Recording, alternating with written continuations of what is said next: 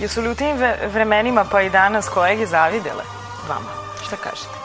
Pa nisu, mislim na, na planu muzičkom ili... Pa na muzičkom planu, na angažmanima, na... Pa, znate što ja nisam razmišljao, moram da kažem, nisam razmišljao. Jer ljudi često kada i ne mogu nešto da dosegnu, onda kažu, daju neku etiketu, jel? Pa, mogu, neka ona bude međutim, politička. šta je, ja da. sam se od starta trudio da pomažem kolegama.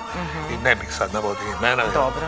Mislim, ali mislim, Nije svi ovi ljudi Da. sada mlađi od mene su na neki način ovaj, imali moju podršku. Nekima sam pokazivao kako se nešto radi, neke sam podržavao na festivalima koje sam vodio, pa sam dobio i nagrade, neke sam zaposlio na televiziji i tako dalje. Tako da nisam ja ni imao vremena da se bavim da li sad neko nešto ovaj, o meni da li Mhm. neko surevnio, ali dobro, ljubomora je, znate šta, uvek je ovaj, na neki način tu. Šta biste rekli, kakva je vaša odiseja?